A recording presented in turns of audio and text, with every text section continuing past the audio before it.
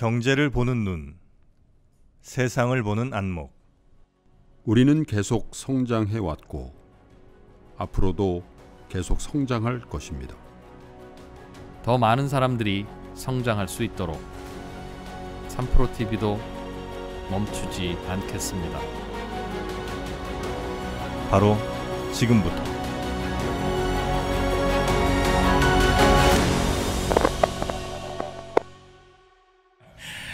예, 여러분 다시 한번 안녕하세요. 예, 글로벌 라이브 2부를 시작하기 전에 그 유튜브 사정에 문제가 생겨서 서버가 잠깐 다운이 됐던 것 같습니다. 이런 저희 일이 종종 있나요? 가끔 있죠. 아. 저 개인 방송할 때도 가끔 예. 있는데 뭐 정말 자주 있는 일은 아니거든요. 몇 달에 한 번 있는 일인데 오늘따라 있는 거 봐서는 뭐 좋은 일이 있으려나 저희 담당자께서 화들짝 놀라셔갖고 땀 열심히 뻘뻘 흘렸네. 예, 땀 뻘뻘 흘려서 네. 수정을 해서 이제 한, 한 30초만 다른 분들 들어오실 때 기다렸다가 이제 다시 2부 내용을 시작하도록 하겠습니다.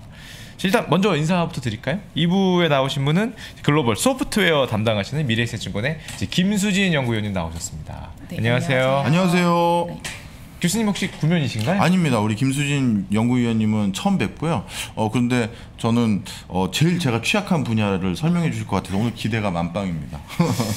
저희가 오늘 이제 글로벌 소프트웨어에 대해서 좀 들어볼 텐데 사실은 이 방송이 켜지기 전에 잠깐 그 얘기도 했잖아요. 어떤? 왜 우리나라에서는 아, 아, 맞다. 소프트웨어 기업들은 맞아요. 좀 약세를 보이는가? 한참 설명해 주시다가 방송이 켜졌으니까 그거 한번 살짝 설명 한번 마저 해 주실래요? 네, 우선은 소프트웨어라는 사실 규모의 경제가 엄청 중요 해서 예. 그러니까 이게 하나 제, 제품을 하나 더 만든다고 해서 추가로 비용이 드는 산업이 아니잖아요. 그렇죠. 그러니까 사실 하나만 개발해 놓으면 이제 뭐 저희 윈도우 무한하게 쓰듯이 네. 모두가 쓸 수 있는데 이제 저희가 내수가 내수만으로는 음. 그 시장을 구현시키기 어렵다 보니까 음. 이게 원래 북미 중심으로 개- 발달한 시장인데 이제 우리가 만약 개발을 하면 정말 시장을 확대하고 싶으면 북미, 중국 네. 나가야 되는데 그게 쉽지 아. 않은 거죠. 이제 그게 사실 저희 제일 첫 번째 이유인 것 그렇구나. 같고요. 아, 이게 그러다 네. 네, 말씀하세요. 그러다 보니까 이제 사실은 좋은 개발자가 나, 나오고 그러기가 좀 어려운 환경이었죠 지금까지는. 음. 네. 아, 그러니까 공장에서 만드는 거는 우리가 공장 증설 이런 거 잘하지 않습니까? 그런 거 잘하죠. 빨리 빨리 만들고 확 늘려갖고 이런 건 잘하는데 사실 소프트웨어라는 거 생각해 보니까 control C control V만 하면은 그럼요. 특별한 비용 없이도 무한대로 늘어날 수 있는데 네. 우리나라에서는 좀 그런 거에 좀 약했다. 아무래도 네, 미국이나 이런 데 비해서. 그리고 이거 그것도 있잖아. 우린 자꾸 불법 어둠의 경로를 아, 좋아해. 좀 잘하시죠. 무슨 말씀이십니까? 어 이런 식으로 어, 저는 뭐 한 번도 경험해보지 못했는데 아 또 그쪽에 또 민감하시군요. 예, 참나 참. 또. 알겠습니다. 뭐 교수님의 안위를 위해서 그럼 여기까지 한번 여쭤보도록 하고요. 그럼 연구위원님 그러면은 이제 하반기 이제 글로벌 소프트웨어 요즘 시장 네. 굉장히 뜨거운 것 같은데 살짝 그 전망 좀 말씀해 주시죠. 네, 오늘 하반기에 이 나스닥 시장, 나스, 나스닥에서의 글- 소프트웨어 업종들 전망에 대해 말씀드리려고 하는데요.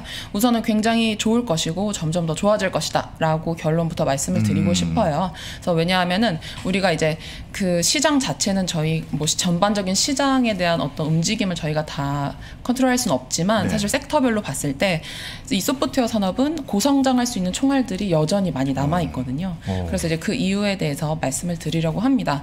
그래서 이제 단기적으로 이번 하반기가 좋을 수밖에 없다라고 말씀드린 첫 번째 이유는 이 IT 스펜딩이 늘어날 거기 때문이에요. 그래서 IT 지출이라고 하죠 저희가. 그래서 이제 하드웨어 같은 경우는 저희가 굉장히 다양한 요인들 뭐 수요와 공급 요인도 있고 다양한 요인들이 작용을 하지만 이 소프트웨어는 사실은 가장 end user 단인 저희가 사- 직접 사용하는 거기 때문에 이 IT 스펜딩이라는 지표가 대표적인 예측 지표로 사용이 되어요. 근데 이제 IT 스펜딩이 뭐냐면 기업 들, enterprise가 IT에 지출하는 돈을 모, 합계 한 아. 것이 IT 스펜딩이라는 지표거든요. 예. 네. 그러다 보니까 결국 소프트웨어의 최종 소비자인 enterprise들이 얼마나 IT에 돈을 썼느냐에 따라서 사실 소프트웨어 기업의 실적이 영향을. 받는다라고 보시면 돼요. 근데 이 IT 스펜딩이라는 게 저희가 테크놀로지라는 게 먹고 살기 힘들 때 기술에 돈을 쓰지 않잖아요. 그렇죠. 기술이라는 건 우리 삶을 더 윤택하게 하는 건데 그렇기 때문에 작년 팬데믹 시점에 사실 IT 스펜딩이 2008년 금융위기 이후로 처음으로 역성장을 했습니다. 그래서 이제 그래프를 보시면 자 지난해에 마이너스 2.2% 역성장을 했고요. 어, IT 지출은 결국은 GDP 성장률과 연동이 되기 때문에 이제 지- 경제가 어려운 시점에 IT 지출 을 기업들도 줄었었어요. 그래서 이제 올해 이제 팬데믹이 조금씩 해소가 되고 있잖아요. 저- 그러면서 이제 큰, 큰 폭의 반등을 할 걸로 예상이 되는데 이제 여기서 또 중요한 게 실질적으로 IT 지출 증가율이 어, 평균적으로 보통 3에서 4% 사이를 움직였었어요. 네. 그래서 이제 그렇게 봤을 때 작년에 2.2% 마이너스였으니까 올해는 한 6.6%대 성장을 할 거다라고 원래 올해 1월까지만 해도 전망을 했었는데 이게 한 4월 달쯤에 8.4%로 오. 훅 상향 조정이 됐습니다.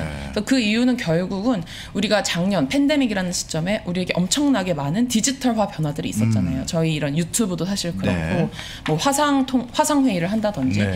그러기 때문에 기업들이 소프트웨어 우리 회사를 더 디지털화 만들어 줄 수 있는 소프트웨어에 대한 수요가 음. 늘어날 거라는 전망이 강해 졌기 때문에 이렇게 IT 지출 전망이 상향 조정됐다라고 보시면 돼요. 음. 그래서 이제 요 IT 지출이 상반기보다는 우리 이제 팬데믹이 해소가 되는 하반기에 집중이 될 거다라고 이야기가 되고 음. 있어서 이제 관련된 소프트웨어 기업들의 실적이 계속해서 탄탄하게 올라갈 거다라고 전망이 나오고 있어요. 음. 그렇기 때문에 사실 최근에 나스닥에 있는 성장주들 주가가 좋은 것도 결국은 실적에 대한 기대감이 충분히 있기 때문이다라고 말씀을 드릴 수 있습니다. 요건 하나 짚어야 될 것 같은데요. 우리 연구위원님께서 말씀하시는 글로벌 소프트웨어 회사의 군집이 네. 어떤 회사인지 대충 샘플로 이런 이런 회사들을 말씀하는 겁니다. 이건 얘기를 해야 될 것 같아요. 네. 대표적으로 마이크로소프트가 아, 예. 있죠. 그리고 어, 어도비 같은 회사도 있고요. 아, 예, 그렇죠. 그리고 뭐 세일즈포스라는 회사도 어. 있고요. 그러니까 기업이 우리 회사를 다니면 저희가 쓰는 소프트웨어들 네. 있잖아요. 뭐 워드, 엑셀은 매일매일 쓰시죠. PPT. 그리고 뭐한 우리 보면 ERP 소 ERP 아, 알죠. 네, 별- 알죠. 그 저희 뭐 맨날 아, 저희도 조직. 생활 해봤어요. 네네. CRM, ERP. 네, 예, ERP 예, 예. 이거는 너무 ERP 같은 봐. 거 네, 경영 국내- 기획 출신입니다. 아, 네. 예, 예, 예. 국내에는 이제 더존비즈온 같은 회사가 아, 예. 있죠. 그리고 네. 뭐 우리 HR 솔루션 휴가계 올릴 때도 네. HR 솔루션 들어가잖아요. 그런 것들이 다 소프트웨어라고 음. 보시면 돼요. 아, 그러니까 게임 같은 건 아니고 그런 네, 정도군요. 게임이 아니라 소프트웨어. 네. 아 근데 생각해 보니까 저희가 코로나로 인해서 가장 많은 변화가 이 디지털화가 당겨졌다는 표현을 되게 많이 그렇죠. 썼잖아요. 네. 네. 음. 그런데 우리 개인보다도 기업들은 오히려 더 다들 앱 만들어야 되고 다들 이거를 디지털 전환시켜야 음. 되니까 이런 소프트웨어에 대한 수요가 폭발적으로 늘어날 텐데 거기에 관련된 회사가 요 글로벌 소프트웨어 산업에 들어 있는 거죠. 그죠. 엄청나게 많이 들어있죠. 음. 그래서 이제 어떤 그런 기업들이 영향을 받을까라고 봤을 때 제가 그 다, 다른 그래프를 하나 준비를 했는데요. 네, 네. 이 그래프 네. 같은 경우는 이제 제가 작년에 만든 건데요. 좀 보면은 좀 헷갈리실 수 있는데 이게 이제 가로축이 비대면 성격을 비대면 성격이 강한 기업들이 오른쪽에 있고요. 비대면 성격이 약한 애들이 왼쪽에 있어요. 음. 네. 그래서 이제 오른쪽 보시면 video conferencing, messaging 협업 이렇게 초록색으로 돼 있잖아요. 네. 네. 우리 video conferencing 아주 잘 아시는 줌이 네. 있죠. 줌이 이제 작년에 어마어마하게 성장을 했었잖아요. 예. 그러니까 우리가 이제 2020년에 코로나로 인해서 팬데믹이란 특수한 상황 때문에 이 video conferencing 같은 앱이 급격하게 성장을 했죠. 음. 그리고 또 VDI라는 건 우리 재택근무할 때 쓰는 가상 데스크톱 인프라를 말하거든요. 음. 그러니까 이렇게 작년에 비대면과 관련된 소프트웨어들의 수요가 어마어마하게 급증을 했었어요. 네, 그렇죠. 근데 이제 그런데 이제 올해가 됐을 때 이제 우리가 조금씩 원 일상으로 회복 회기를 할 거잖아요. 그래서 작년에 그 비대면에 대해 수요가 비대면에 많이 기업들이 투자를 하면서 원래 지출하려던 분야에 대한 지- 투자가 줄었었거든요. 음. 그게 바로 왼쪽에 있는 섹터들인데 세그먼트인데요. 네. 그게 어떤 거냐면 이제 CRM이라고 하면 뭐 더존비존도 하는 그런 고객 관리하는 예. 거. 네. 그리고 HCM이라는 게 HR 솔루션들, 네. 우리 뭐 고용 같은 것도 되게 휴가계 참- 내고 뭐 네, 거죠? 그런 예, 것들. 예. 그리고 이제 재무 회계 솔루션, 뭐 공급망 관리 이런 류의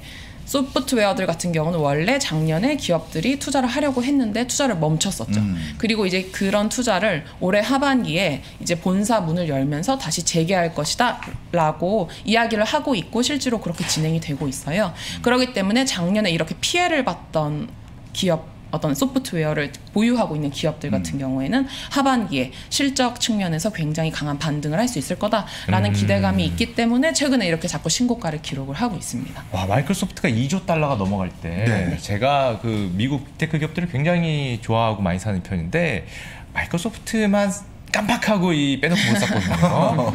또 네. 그거에 그렇게 많이 올라가더라고요. 이런 이유가 받쳐져 있는 거죠. 그렇죠. 뒤에는. 마이크로소프트는 이걸 이제 다 하니까. 다 하니까. 네, 자기들이 다 하니까 사실 계속 좋을 수밖에 없죠. 그래서 이제 요런 CRM 대표 기업이 이제 세일즈포스라는 기업이 있고요. 네. 그리고 뭐 어, 네, 뭐 서비스 나우 이런 기업들이 사실 미국의 나스닥 대장주예요. 이 소프트웨어 산업에서는. 음. 그래서 이런 저는 대장주들도 계속해서 실적에 대한 기대감이 있다라고 말씀을 드리고 거다. 있습니다. 네. 그럼 제가 개인적으로 좀 궁금한 점이 하나 있었는데 저희가 코로나가 와서 재택근무를 많이 했잖아요. 네. 그래서 재택근무 관련된 이런 어떤 소프트웨어들, 줌 같은 어떤 소프트웨어들이 굉장히 상승을 많이 했는데 근데 막상 이 재택근무 프로그램이 제가 생각하기에 코로나 이렇게 빨리 올 줄 몰라서 준비가 좀 제대로 안 됐었던 게 아닌가 생각을 하거든요. 그렇죠. 원래 기업들은 준비가 안 됐었죠. 그래서 이 네. 재택근무를 그리고 우리가 한번 하고 보니까 이 좋잖아요. 그렇게 하고 싶잖아요. 네. 한 회사 가기 싫고. 그럼요. 근데 이 재택근무 솔루션들이 좀 굉장히 없던 시장이었는데 폭발적으로 성장하지 않을까? 이런 기대들을 좀 갖고. 있거든요. 이미, 이미 어. 성장을 많이 했고요. 그래서 어. 이제 제가 이제 디지털화가 가속화되는 그 첫 번째 이슈가 바로 이 하이브리드 근무다라고 아, 이제 말씀을 아, 드리고 예. 싶어요. 그래서 하이브리드 근무라는 게 결국 재택과 옵- 사무실 출근을 병행하는 음. 형태의 근무인데요. 이게 이제 빅테크 기업들이 먼저 솔선수범해서 시작을 하고 있어요. 그래서 대표적으로 애플 같은 경우는 9월부터 딱 정해서 본사가 월, 화, 목은 전원 다 오피스 출근, 수, 화- 수 금은 전원 다 재택근무 이런 어. 식으로 음. 예. 운영을 한다고 해요. 예. 그리고 구글 같은 경우는 전체 20% 인원을 다 재택근무 인원으로 돌리고 대신에 그 사람들이 어, 거주하는 지역의 물가 수준에 맞춰서 연봉을 조정하겠다 이렇게 아, 말을 했어요. 그것도 합리적이다. 그죠. 그러면 네. 이제 재택근무 좋은 사람은 그냥 내 나라에서 일하고 뭐 여- 대신 연봉 좀 줄이고 그럼 음. 회사 입장에선 비용도 줄이고 네. 네, 이렇게 되는 거죠. 근데 이제 이렇게 됐을 때 뭐가 필요하게 되냐면 그러면 사람들이 다 근무 형태가 다양하니까 네. 네. 이 재택 그러니까 뭐 우리가 같이 한 공간에 없을 때도 근무할 수 있는 형태의 소프트웨어들이 반드시 그렇네요. 필요하잖아요. 예. 그러니까 콜라보레이션, 협업 음. tool. 그렇기 때문에 이런 협업 tool에 대한 수요가 그러니까 늘겠네. 이게 작년에는 그냥 임시 방편으로 쓰는 거였는데 이제는 회사들이 필수적으로 구축하고 구비해야 되는 솔루션이 된 거죠. 너. 그래서 그런 게 뭐 Zoom도 있고 마이크로소프트 같은 경우가 이제 Teams라는 솔루션으로 자기들이 이제 오피스를 대체하겠다라고까지 말하고 있고요. 그리고 제가 이제 잘 모르시는 것 중에 또 추천드리고 싶은 게 이제 우리나라는 정말 안 쓰는데 프로젝트 매니지먼트라는 솔루션이 있어요. 네. 그게 뭐냐면 이렇게 여러 우리가 다른 팀이랑 저희가 같이 코워크를 할 때가 있잖아요. 그러면 네. 이제 업무를 진행할 때 맨날 메일 보내고 받고 이러는 거 되게 번거롭잖아요. 그래서 이제 하나의 소프트웨어 플랫폼에서 동시에 이제 업무를 진행하고 아. 업무가 얼마나 진행이 됐나 이런 것들을 이렇게 확인할 수 있는 되게 예쁜 캘린더 같은 네. 역할을 하는 앱인데 이게 이제 국내는 많이 쓰지 않는데 음. 이제 미국 같은 경우는 땅이 워낙 넓고 막 지사가 워낙 흩어져 있으니까 네. 이런 앱에 대한 수요가 굉장히 높아요. 음. 그래서 이제 대표적인 기업이 Asana라는 기업이 있어요. Asana. 네. A S A N A 네. Asana라는 Asana. 기업이 있고요. 또 Atlassian이라는 기업이 있어요. 이 기업은 티커가 팀이거든요. T E A M. 예. 그래서 이런 기업들이 주가 보시면 굉장히 견조하게 올라가고 어. 앞으로도 전망이 계속 좋을 거다라고 말씀을 드리고 있습니다. 아, 제가 우리 연구위원님 설명을 들으니까 이제 이해가 되네요. 요즘 미국에서 대졸이나 이제 석박사들 졸업할 때 recruiting 할 거 아니겠습니까? 네. 그 recruiting 할 때 요즘 이제 어, 처음 사회생활 하는 친구들이 그 선망하는 그 회사들 중에서 재택근무 가능한가요? 이걸 많이 물어본대요. 네. 그러면 만약에 이제 좋은 인재들을 스카우트하거나 recruiting 할 때는 재택근무 환경도 구비를 해놓는 게 회사의 맞아요. 경쟁력이 그죠, 되니까 네. 방금 말씀하셨던 그런 협업 툴이나 이런 거에 대한 수요는 계속 늘겠네요. 그죠? 그게 네. 어. 회사의 경쟁력이 되죠. 사실 네. 복- 일종의 어. 복지처럼 느껴지고. 아. 또 기존에 없던 시장이 새로 그렇겠죠. 생기는 느낌이 좀 네. 있어서. 음, 네, 맞아요. 그래서 요거에 조금 더 발전하면 이제 우리 같은 저 같은 게임 좋아 했던 사람들은 상상을 하기를 음. 이 협업 툴이 발전하다 보면은 가상현실로 들어간다 이런 얘기 많이 하지 않습니까? 아, 그래서 예, 예. 메타버스 시대다. 맞아요. 아, 그죠. 그것까지 사실은 궁극적으로 연결이 되고 그렇기 때문에 오. 이제 빅테크 기업들이 게임을 가장 중요한 미래 성장 동력으로 잡고 있죠. 아. 야. 모든 게 게임과 연결이 될 테니까. 이런 협업 툴도 게임하고도 그럼 나중에 약간 그렇게 뭐 가상 공간과도 연관이 어, 될까요? 당연히 그거를 생, 오. 염두하고 있고요. 당연히 AR, VR도 염두하고 네. 있고 사실은 Slack이라는 그 줌의 경쟁사였는데 지금은 세일즈포스에 인수가 된 예, 업체는 예. 게임에서 시작을 한 아. 회사예요. 그러니까 게, 게이머들이 메신저를 만들어서 네. 자기들이 쓸 메신저를 아. 만들어서 그걸 업무용으로 전환한 케이스예요. 그러니까 당연히 사실은 디지털화는 결국 게임하고는 뗄래야 뗄 수 없는 관계이기 예. 때문에 제가 아주 잘 알고 있습니다. 네, 그런 메신저를 제가 사용을 했었거든요. 네, 네. 그 사용한 회사가 그렇게 돈을 많이 벌 줄 몰랐어요. 사용만 하셨구나. 사용만 했어요. 저는. 들어가서. 슬랙을 사용하시는 건가요? Slack Slack 말고 그 다른 아 다른 게임에 사용하는 예. 메신저 회사가 있었는데 네. 그것도 이런 협업 툴 뭐 이런 어. 메타버스 이렇게 되면서 인수가 되더라고 돈도 많이 벌고 게임 쪽에서 많이 시작을 한다고 해요. 어, 깜짝 놀란 적이 있는데 그럼 또 하나 여쭤볼게요. 그럼 방금 말씀해 주셨던 그런 이슈들이 이미 주가에 다 반영이 된 건가요? 아니면 앞으로도 충분한 상승 여력이 있을까요? 저는 앞으로도 충분한 상승 여력이 있다고 어. 생각하는 게 왜냐면 저희 주- 협업 툴 사실 예. 은 실질적으로 쓰는 분들 별로 없잖아요. 아직은 그렇죠. 네, 맞아. 사실은. 그러네요. 그냥 카톡이나 하지. 네. 그러니까 이게 북미 중심으로 이제 워낙 발 전을 하다 보니까 되게 북미에 국한해서 사실 성장을 한 상황이라 아. 글로벌 성장할 수 있는 포텐셜이 되게 충분하다고 생각을 하고요. 음, 네. 이게 아직까지도 북미에서도 초기 단계라고 많이 아하. 평가를 받고 있습니다. 음. 그리고 뭐 이거는 뭐 좀 더 추가로 말씀드리면 지금 저희가 사용하는 사내 전화도 네. 궁극적으로는 지금 제가 사용하는 화상 시스템으로 다 네네. 연동 통합이 될 거거든요. 그렇겠네. 그러면 이제 바뀔 게 사실 어마어마하죠. 아 그러네요. 생각해도. 뭐 하나에서 네. 열 가지가 다 바뀔 수도 있겠다 생각이 드는데 네. 그럼 위원님 그렇게 돼서 우리가 이제 협업 툴도 많이 사용을 하고 뭐 집에서 재택근무로도 하고 안 그- 아니면은 방금 전에 말씀해 주셨던 기업들이 그동안 미뤄왔던 네. 소프트웨어 투자들을 쭉 하면은 그 저희가 이런 것들이 보통 저장되는 데를 클라우드라고 많이 얘기하지 않습니까? 아, 네, 네. 그럼 뭐 클라우드 시장은 굉장히 좋아질 가능성이 높겠네요. 클라우드 컴퓨팅 시장은 당연히 계속해서 이제 연 20% 성장은 할 것이다라고 보시면 돼요. 연 그래서- 20%요? 네. 근데 이제 클라우드 컴퓨팅이라는 게 사실은 제가 이제 저는 매일 말씀드리는데 이게 워낙 큰 인프라여서 네. 딱 사실은 storage는 아니거든요. 클라우드는. 음. 그러니까 우리 회사가 지금 사내에 만들어 지금은 서버를 사내에 우리가 지금 돈 주고 사서 private하게 운영하는데 이거를 다 그냥 외부에 있는 데이터 센터에 외주 주는 개념이기 때문에 네. 우리가 더 많은 소프트웨어를 이용할수록 데이터 센터를 더 많이 사용해야 되고 그럼 이제 결국은 클라우드 인프라를 더 많이 사용할 수밖에 없게 그렇겠죠. 된다라고 보시면 돼요. 네. 네.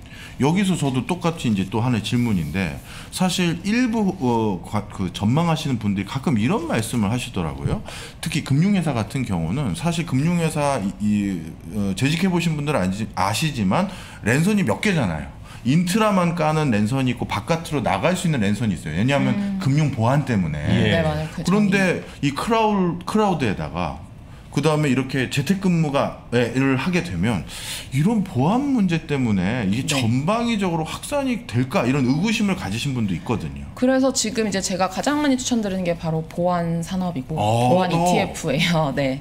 왜냐면 뭐 또 가지고 계시죠? 아니요, 아니요, 아니요. 종목 얘기해 주신지 알고 자- 잠깐 발작했습니다. 가장 많이 추천해 주신다 그래서. 네, 네. 왜냐하면 보안이 너무 중요하고 네. 실제로 지금 미국에서는 정말 매일매일 대규모 해킹 사고가 터지고 있거든요. 맞아요. 그래서 이거 엊그제 이제 독립기념일에도 맞아요. 또 이제 한 건 터졌어요. 네. 그래서 지금 미국 정부의 해커단이 700억 아 7천만 달러 어, 해- 그 내놔라. 내놔라. 어. 안 그러면 다 망쳐버리겠다 이렇게 네. 협박을 하고 있어요. 지금 이게 실시간 진행되고 있는 일이에요.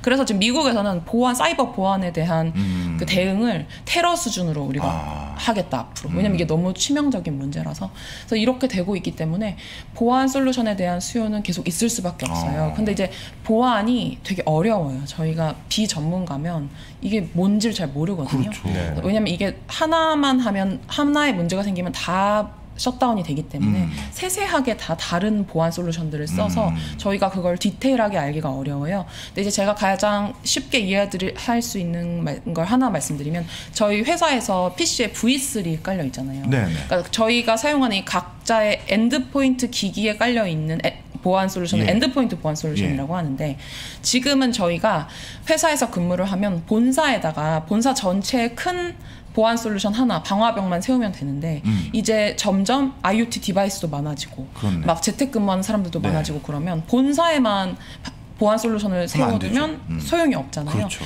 그러다 보니까 우리가 사용하는 기기 하나 하나에 다 보안 솔루션을. 세워 만들어야 된다. 그러네요. 그러니까 저희가 지금은 스마트폰에 V3는 깔지 않잖아요. 네.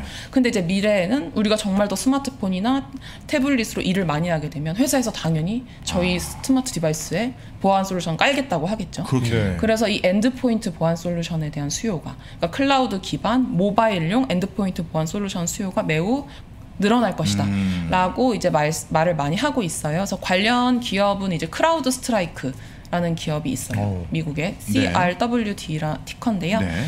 뭐 이런 기업 들이 있고요. 그리고 맥아피라고 원래 기존에 이제 legacy에서도 있었던 기업인데 이제 클라우드 기반으로 빠르게 전환을 해서 최근에 실적이 굉장히 잘 나오고 있어요. 맥아피도.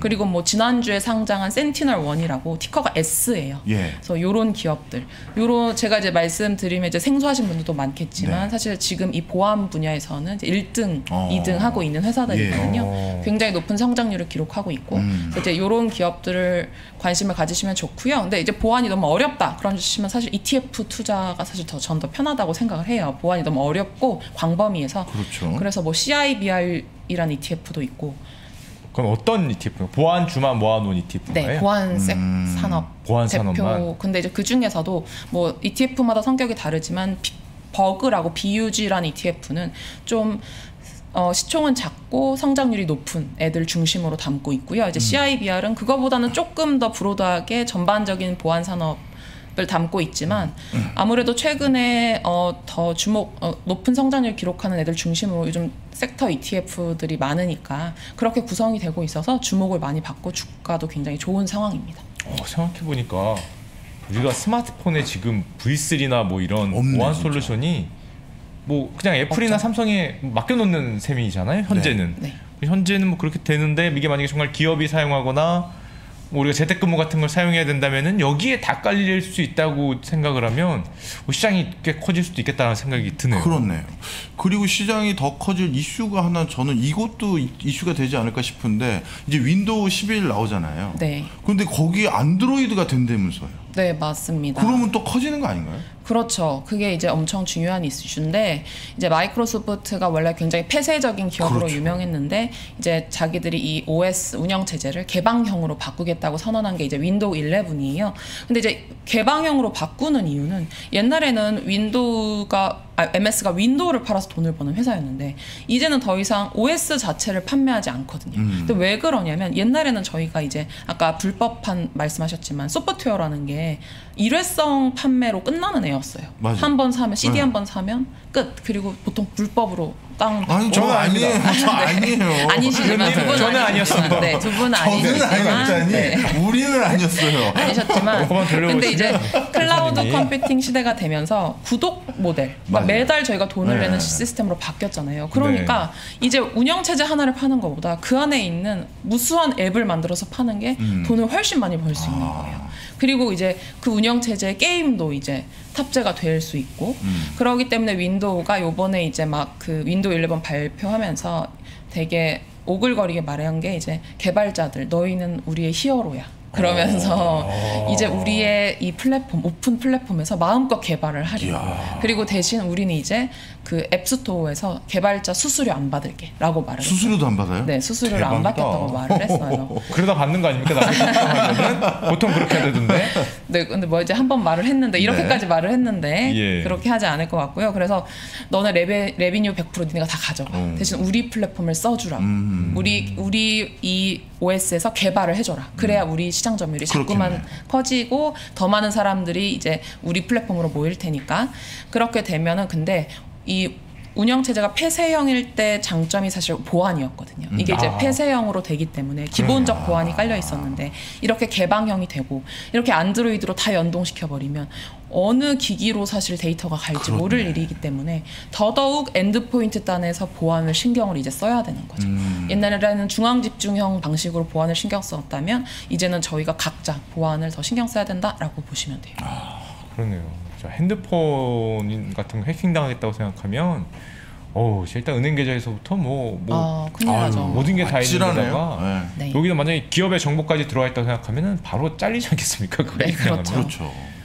이번, 이번에 그 마이크로소프트가 윈도우 11에서 그 안드로이드가 연동된다는 게 우리 생활에 구체적으로 좀 어떤 영향을 미칠까요? 우리 음. 일반인들의 경험으로는 어, 지금 이걸 왜 이렇게 했냐면요. 저희가 지, 예, 지금은 PC 쓰고 스마트폰을 쓰는데 스마트폰은 안드로이드랑 iOS 딱두 개잖아요. 네. 근데 지금 우리가 5G가 도입이 되고 이 4차 산업혁명 시대는 IoT 기기가 무수하게 늘어나고요. 또이 데이터가 오는 윗 장소 바- 외부 데이터 센터가 진짜 많다 보니까 데이터를 보낼 때 만약에 제가 윈도우 어, 윈도우 OS에서 어떤 파일을 보내면 iOS에서 안 열릴 경우가 있거든요. 그렇죠. 이게 OS가 다르면 파일이 열리지 않아요. 음. 그럼 이제 굉장히 불편한 상황들이 초래가 되잖아요. 그렇기 때문에 이 OS 운영 체제의 경계를 없애야 파일을 보낼 때 이제 자유자재로 더 많은 곳에 뿌릴 수가 있는 거예요. 음. 그래서 이제 PC를 쓰다가 PC에서 작업을 하다가 우리가 그냥 스마트폰 작업을 할 수도 있고 태블릿 작업도 할 수 있잖아요. 그런 모든 걸 연결시켜 버려서 우리가 이 아- 기기 간의 경계를 허무는 것. 음. 그게 이제 MS가 추구하는 거고 그렇게 될 경우에 이제 기계도 더 많이 팔 수 있죠. 그리고 소프트웨어도 더 많이 팔 수 있죠. 그러니까 이 시장을 경, 이 운영체제 경계를 없앰으로써 확장하려는 게이 MS의 목표다라고 보시면 돼요.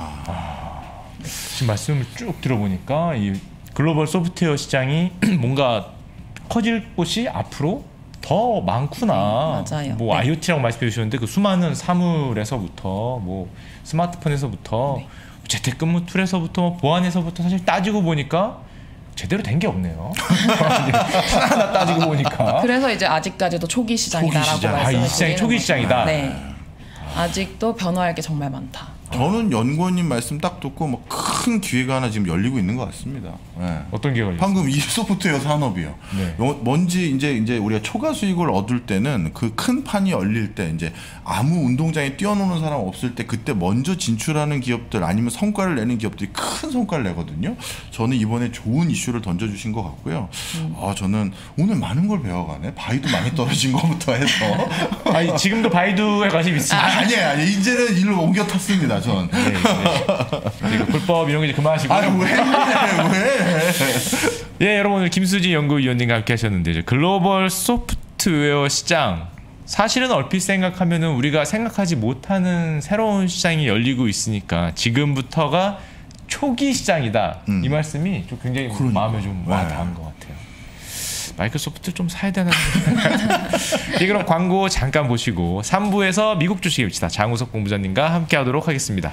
수고해주신 연구원님 다시 한번 감사드립니다. 아, 감사합니다. 네, 감사합니다. 페이지 2 인기 강좌 두 편을 특별히 할인된 가격에 만나보시죠. 국내 최고 시황맨 두 명이 알려주는 박병창의 매매 기술 그리고 연불리의 친절한 주식 기초교육 두 강의 패키지로 구매 시 특별한 혜택과 할인된 가격으로 수강할 수 있습니다. 자세한 사항은 페이지 2 공지사항을 확인하세요.